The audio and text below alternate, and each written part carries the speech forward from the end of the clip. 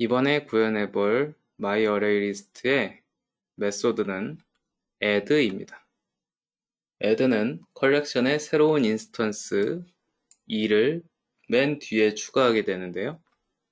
저희의 데이터 유지 기법, 전략은 항상 항상 데이터의 크기를 딱 맞춰서 유지하기 때문에 고정 크기인 배열의 특성상 add의 호출 시 항상 배열을 새로 만들어 주어야 됩니다. 그래서 다음과 같은 단계로 구현을 하도록 하겠습니다. 첫 번째, 현재보다 크기가 한 개 더 큰 배열 생성 new 데이터로 하죠.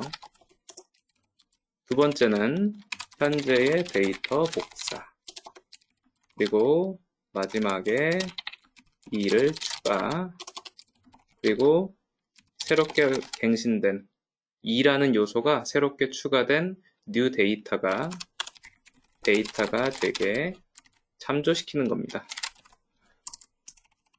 첫 번째 단계부터 해보면요. 현재 데이터보다 크기가 한 개 더 큰 배열을 생성하게 되는데요. object array new 데이터는 new new object 크기가 어떻게 되냐면 현재 데이터의 length 플러스 1이 됩니다. 네, 여기까지 됐죠? 자, 현재 데이터를 복사합니다. for int 0부터 데이터의 length까지 현재 데이터를 복사하는 것이죠. new 데이터에 i 인덱스에 데이터의 i 인덱스를 가져와서 set 시킵니다. 마지막에다가 마지막 요소니까 new 데이터의 length 마이너스 1이 되겠죠? 네, e를 추가시킵니다.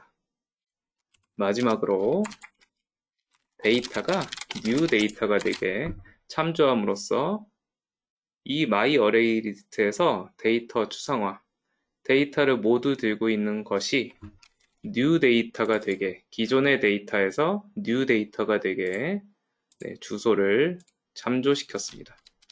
이렇게 추가를 시킬 수가 있고요. 저희는 현재 현재 추가가 안 되는 상황이 없기 때문에 무조건 true를 반환하는 것으로 마무리 짓겠습니다. 이것이 저희의 add 구현입니다. 자, add를 구현하겠습니다. add 구현을 한번 테스트를 해보겠습니다.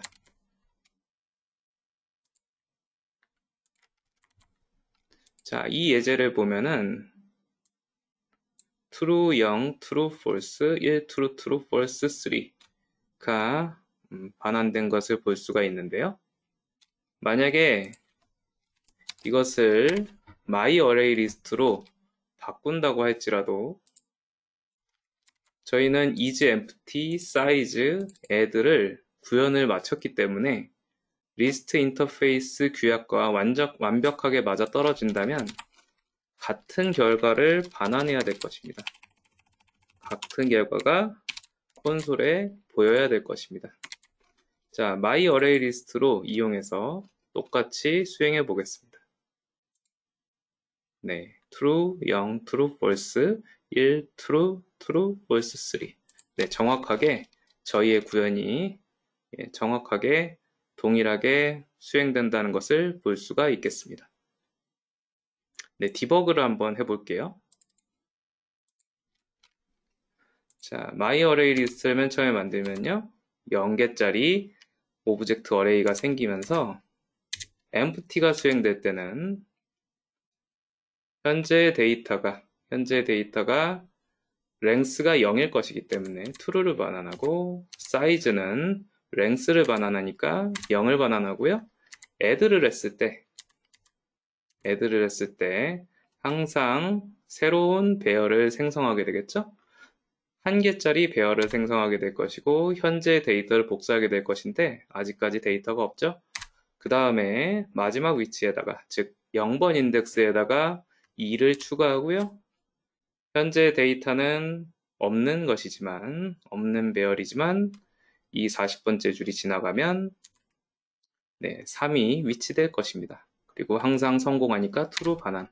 네, 이런 식으로 is empty, true, false, size 1, 그리고 add가 추가되면 7이 추가될 것이고요. 한번 볼까요? 현재의 데이터, 현재의 데이터에서 7을 추가해 보겠습니다.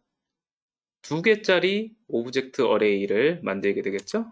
그리고 현재의 현재의 3이라는 데이터를 new 데이터 두 개의 어, 요소를 저장할 수 있는 new 데이터에다가 3을 우선 복사해야 됩니다. 네, 3이 복사돼 있죠? 이 다음에 맨 마지막에 2인 7을 추가하게 되고요. 현재 데이터가 새로운 데이터가 되게 바꾸었습니다. 이런 방식으로도 이러한 방식으로 모두 추가시키고요. 비연 체크해보고 사이즈를 반환한 다음에 종료되게 되겠습니다.